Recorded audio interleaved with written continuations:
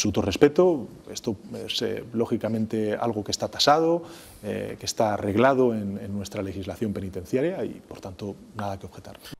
Eso significa subir, por ejemplo, los impuestos a las grandes corporaciones y no a las pequeñas y medianas empresas. Eso significa eh, que, lógicamente, tendremos que desarrollar, si queremos acelerar la transición ecológica, como, hemos hecho, como he dicho antes, tendremos que acelerar e intensificar todo lo que tiene que ver con la imposición ecológica.